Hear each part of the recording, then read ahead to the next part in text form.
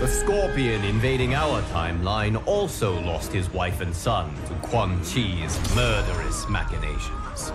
Consumed by grief, he searched them all to find another Harumi with whom he could rebuild his family.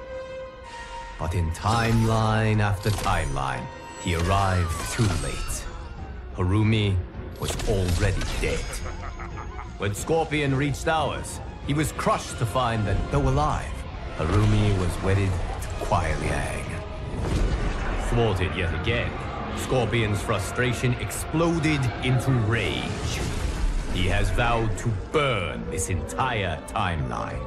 If he cannot have Harumi, no one will.